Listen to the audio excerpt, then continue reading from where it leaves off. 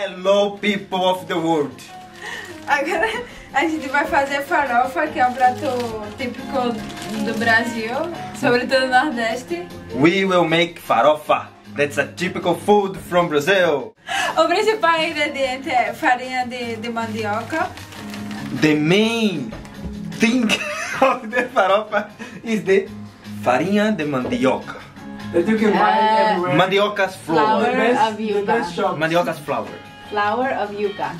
E logo, ah, flour. e manteiga, ah, ma- manteiga, cebola e passas. And butter, onions, and passas. Raisins. Raisins. Primeiro derrete a, a manteiga, muita manteiga. First of all, the pan is on the hot table. And you have to derretir, Melt. melt the butter in the hot pan. A cebola tem que dourar hasta, até quase queimar, mas não tem que queimar. Antes de queimar. The onion, you have to fry it until it almost burn, but not burn. Do you understand me? Depois a gente mostra o ponto Now we will have a special, como se dice, eh, animation, and we will you will see the onion already fried. After 20 minutes, Não, tá. no, only two minutes. Yeah. Que tinha que dourar, mas não queimar, é esse ponto. When we when she said the onion has to fry but not burn, is dead.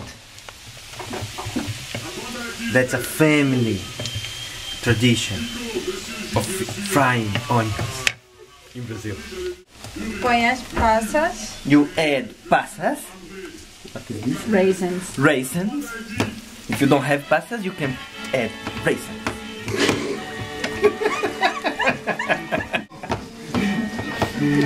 and you will fry a, bit more.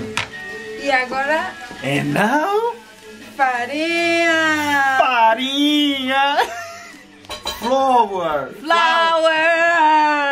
Flour. Yuca! Flower power. yuca's flour.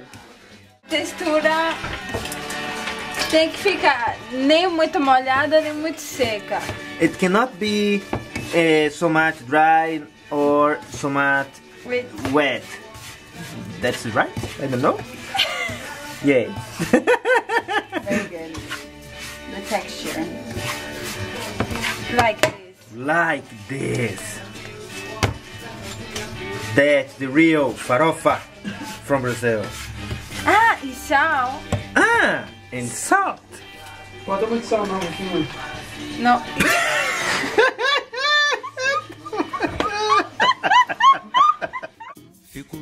samba, se quiser pode ficar.